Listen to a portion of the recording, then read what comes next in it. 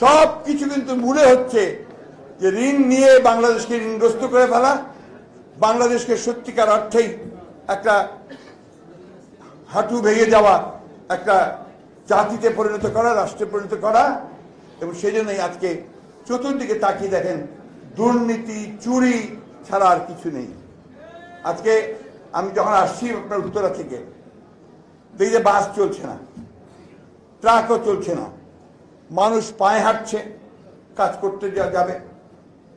Motor সাইকেলগুলো বেশি চলছে, bike বেশি চলছে। কারণটা কি আপনারা সবাই জানেন? যে ডিজেলের দাম, কেরোসিনের দাম, আপনার এলপিজির দাম হঠাৎ করেই এক টাকা, দু টাকা বাড়লে হয়, পনেরো টাকা করে পার লিটারে বাড়িয়ে দিয়েছে। মানুষ যাবে কোথায়? একদিকে তার জিনিসপত্রের দাম বাড়ছে হু হু করে, অন্যদিকে এখন আবার বাড়িয়ে দিল এই জ্বালানির দাম ফলে কি হবে? আরও দ্বিগুণ বাড়বে। সাধারণ মানুষ কোথায় যাবে? সাধারণ মানুষের তো এখন না খেয়ে অপুষ্টিতে ভুগে মৃত্যুবরণ করার মতো অবস্থা হয়ে গেছে। আজকে, যেহেতু আজকে দেশে মানুষ জেগে উঠতে শুরু করেছে, কথা বলতে শুরু করেছে, এই যে নিজের অধিকারগুলো আদায়ের জন্য কাজ করতে শুরু করেছে, ভোটের কথা বলছে, অধিকারের কথা বলছে ভাতের অধিকারের কথা বলছে স্বাস্থ্য অধিকারের কথা বলছে। সুতরাং সেইখান থেকে জনগণের দৃষ্টি সরিয়ে দিতে হবে। সেই কাজ তারা শুরু করেছে। এই সমস্ত বিভিন্ন রকম আরও ইস্যু তৈরি করে মানুষের দৃষ্টি থেকে ফেরানোর জন্য সৃষ্টি করা আপনারা দেখুন, নির্বাচন, ইউপি নির্বাচন দিচ্ছি।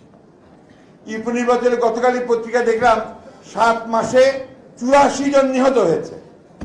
এবং সব তাদের লোক, তারা নিজেরা নিজেরা এখন মারামারি করে। বিরোধী দল তো নাই, নিজেরাই মারামারি করে। এবং আজকে তারা লুট করে, নিজেরা মারামারি করে এবং নিজেদের মধ্যেই আপনার এই সমস্যাগুলো তারা তৈরি করছে এটা হবে এটা অবশ্যম্ভাব। এবং মামলা দেয় বিএনপি নামে। আপনারা দেখেছেন সাম্প্রদায় দুর্গা পূজার সময় কি করেছে? আপনারা সবাই জানেন। তারা নিজেরাই দুর্গা পূজায় সমস্যা তৈরি করেছে, মণ্ডপ ভেঙেছে এবং তারপরে বিএনপির নেতাদের নাম উল্লেখ করে শত শত হাজার হাজার লোকের আপনার বলেছে অজানা সমস্ত আপনার মানুষকে আসামি করেছে। এবং এক শুরু করেছে কি এখন? যাকে ধরে নিয়ে এই মামলায় ফেলে এটা তাদের পুরনো স্টাইল। আমরা এর আগেও দেখেছি, নির্বাচনের সময় সেটা করেছে আঠারো সালে, সবসময় সেটাই করে আসছে। বন্ধুগণ, ডক্টর ডক্টর সাহেব যেটা বলেছেন, আমরা যেটা বারবার বলে আসছি, কোনো বিকল্প নেই। একমাত্র পথ হচ্ছে এদেরকে সরিয়ে দিয়ে সত্যিকার অর্থেই একটা জনগণের সরকার প্রতিষ্ঠা করা, পার্লামেন্ট তৈরি করা। আসুন, আমরা সেই লক্ষ্যে সবাই ঐক্যবদ্ধ হই। আমরা সবাই রাজপথে নেমে আসি এবং আমাদের শক্তি দিয়ে, জনগণের শক্তি দিয়ে আমরা এই ভয়াবহ দানবীয় সরকারকে পরাজিত করে সত্যিকার অর্থেই একটা জনগণের রাষ্ট্র, জনগণের পার্লামেন্ট, জনগণের সরকার তৈরি করি।